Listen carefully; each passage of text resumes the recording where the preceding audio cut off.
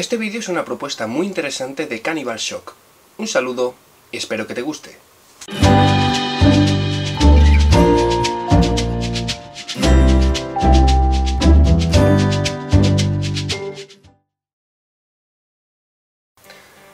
¿Alguna vez te has preguntado qué se siente al ser otra persona? Y no me refiero a adoptar otra identidad, tipo agente secreto. No, me refiero a que si existiese una máquina capaz de intercambiar conciencias, cambiarte con otra persona y vivir a través de su visión, ideas y sentimientos. Así en frío es difícil de imaginar, porque tendríamos que dejar atrás muchos sesgos propios, como la idea de nuestra propia conciencia o nuestra identidad, o que las vivencias no es solo lo que percibimos por los ojos, o incluso que mis ojos no ven lo mismo que los tuyos. ¿Quieres una prueba? Veámoslo. ¿Qué ves en este momento? Una pantalla roja, ¿verdad? ¿Sabes cómo es el color rojo? Lo has visto miles de veces. Pero posiblemente tu color rojo no es el mismo que el mío.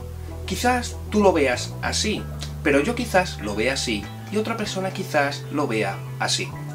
Los colores en sí no existen en la naturaleza, los construimos a partir del espectro de luz que se refleja en los objetos. Nuestra percepción del color se procesa en el lóbulo occipital del cerebro, situado justamente detrás de nuestra cabeza. Lo integra todo, formas, contornos, sombras, movimiento, color, todo conforma un puzzle que se monta en tiempo real con la información que proviene de nuestros ojos. Pero cada persona es diferente, eso implica que la intensidad o el nivel de activación de esas áreas cerebrales no sea exactamente igual en todo el mundo. Hay mayor o menor agudeza visual según qué persona, por lo cual habrá variaciones en esa percepción final. Pero entonces, ¿cómo sabemos que este es el color rojo, sin importar dónde lo encontremos? Los diferentes colores mantienen ese mismo espectro de luz por lo cual, independientemente de nuestras diferencias individuales, siempre que percibimos ese patrón concreto, sabremos que es un color y no otro. Pero que nuestra percepción sea visualmente diferente según quienes seamos, no significa que nuestro cerebro no lo intente. Hay diferentes mecanismos para poder ponernos en los zapatos de otra persona, al menos manteniendo la distancia de nuestra propia conciencia. Hablemos, por ejemplo, de nuestros pensamientos. ¿En qué estoy pensando? ¡Eh! No podemos saber qué piensan los demás, a no ser que poseamos poderes telepáticos o hablemos de ello. El primer mecanismo de transferencia es el lenguaje. Podemos transmitir conceptos, impresiones o describir situaciones y objetos, y la otra persona puede construir mentalmente nuestro universo. Aunque, para que eso suceda, primero tengo que diferenciar que mis pensamientos son diferentes a los que tú puedes tener. Sí, parece una ridiculez, pero es más complejo de lo que parece. Podemos distinguir tres niveles de comprensión de nuestros estados mentales. La primera, yo pienso. La segunda, yo pienso que tú piensas.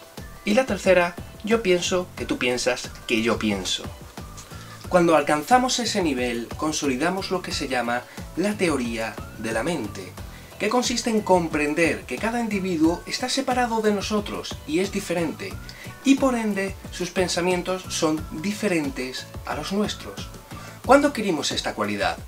Cuando somos capaces de mentir, transmitir un pensamiento que contradice un hecho sin que esa persona lo sepa. Así que ya sabéis, cuando un niño comienza a mentir, felicítale por haber adquirido esa habilidad y después castígale. Yo sugiero las siguientes formas.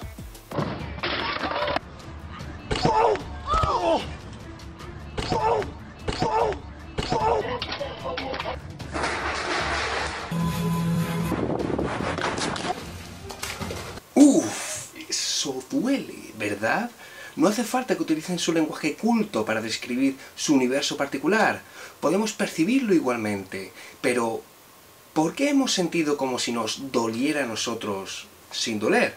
Porque tenemos una sensibilidad especial para apreciar emociones extremas en otras personas, imitarlas. A esto lo llamamos contagio emocional, y podemos hacerlo gracias a nuestras neuronas espejo. Esta es una habilidad también presente en otros animales. Podemos imitar la conducta y las expresiones emocionales de otras personas, como si fuera el juego del espejo.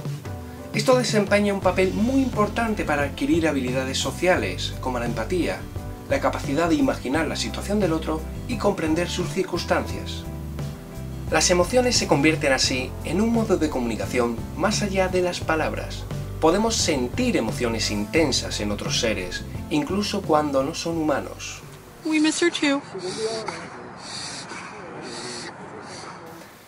Pero seguimos sin encontrar la forma de trasladarnos por completo dentro de otra persona. Y como hemos visto, puede ser muy complejo. Pensamientos, sensaciones, emociones... ¿Podemos entrar dentro de alguien y ver su mundo completo? No es posible. Pero como hemos repasado aquí, nuestro cerebro tiene mecanismos para intentarlo. Y no por capricho, sino por necesidad. Creemos que estamos solos en nuestra mente, pero en cierto modo estamos más unidos de lo que parece. Captamos mensajes, podemos ser influenciados por los pensamientos y las emociones ajenas, podemos ver el mundo de diferente forma y describirlo de la misma manera. Somos seres sociales y necesitamos completar nuestras vivencias con los demás. Es una intriga común. La curiosidad nos anima a pensar. ¿Qué sentiría una persona ciega que no sabe siquiera qué es la oscuridad porque nunca la ha visto? ¿Cómo explicarías qué es la música a una persona sorda? Nos desborda la idea de revivir esas experiencias, pero obedece a esa necesidad de comprender, de investigar, de saber de las vivencias de los demás, porque las necesitamos para completar las nuestras. Quizás, después de ver este vídeo, valores más cada una de tus sensaciones, porque son únicas. Nadie más las va a poder vivir como tú. Comenta qué opinas sobre este tema. Si te ha gustado el vídeo, suscríbete y compártelo con tus amigos. Sígueme también en mis redes sociales y gracias por vuestra atención y nos veremos en el siguiente tema.